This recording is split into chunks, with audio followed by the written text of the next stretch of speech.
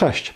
Być może Ty także należysz do grupy osób, które chciałyby zmienić coś w wyglądzie swojego sklepu internetowego, ale boją się, że jeżeli zaczną grzebać w swoim WooCommerce, to poprzestawiają coś, w sumie może wyjdzie brzydkie i klientom nie będzie się podobać. Aby w sposób absolutnie wolny od stresu sprawdzić, jak Twój sklep wyglądałby, gdyby na przykład przesunąć sidebar e, na drugą stronę albo zmienić tło, możesz do tego wykorzystać funkcję stagingu.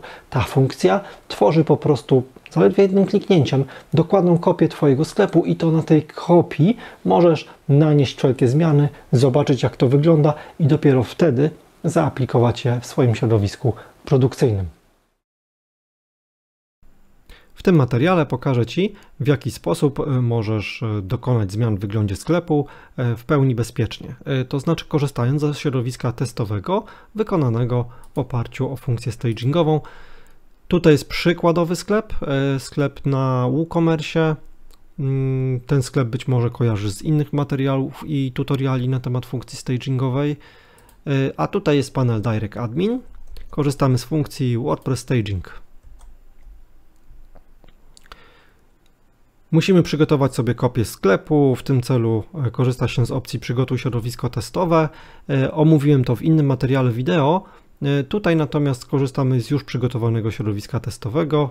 Kiedy kliknę, otworzy się identyczny sklep. No bo wiadomo, tak działa staging. To jest kopia 1 do 1. Jakbyś kserował bądź kserowała po prostu kartkę papieru. No dobrze, to e, mamy dwa sklepy i teraz załóżmy, że chcielibyśmy zobaczyć, e, jakie zmiany można by tutaj wprowadzić. Wchodzimy w opcję Zarządzaj. E, korzystamy z opcji Zaloguj, aby zalogować się do kokpitu naszego sklepu. Jesteśmy w, w kokpicie WordPressa i mamy tutaj możliwość dostosowania wyglądu. I teraz już możemy sobie przystąpić do zmian. No, załóżmy, że chcielibyśmy, żeby tło e, było innego koloru, o na przykład żółte. E, chcielibyśmy, e, powiedzmy, przerzucić pasek na drugą stronę i żeby recent post nie nazywało się recent post, tylko jakkolwiek inaczej, więc możemy sobie ten napis tutaj wyedytować i możemy sobie opublikować teraz te zmiany. Y, I te zmiany będą publikowane wyłącznie w środowisku testowym.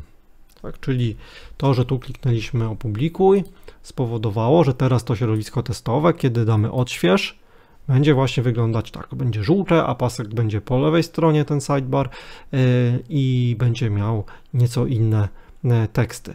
Tak natomiast wygląda sklep oryginalny, sklep produkcyjny, więc e, nasze kolorystyczne eksperymenty w żaden sposób nie wpłynęły na to, co widzą klienci. Dopiero kiedy jesteśmy w pełni przekonani, że zmiany nam się podobają, wchodzimy w opcję przenieść zmiany na środowisko produkcyjne i w takim wypadku wybieramy, e, czy chcemy wgrać tylko zmiany w plikach, czy w plikach i w bazie danych e, i przenosimy je na środowisko produkcyjne. Dopiero wtedy one zaistnieją dla Twoich użytkowników. Jeżeli masz jakiekolwiek przemyślenia, pytania, sugestie e, dotyczące hostingu dla sklepu internetowego, pisz śmiało w komentarzu. Bardzo chętnie e, się do tego odniosę, bardzo chętnie e, odpowiem. Dyskutujmy, wymieniajmy wiedzę, wymieniajmy poglądy, bo dzięki temu internet może stać się jeszcze lepszym miejscem. Dzięki wielkie i do zobaczenia na cyberfolks.pl.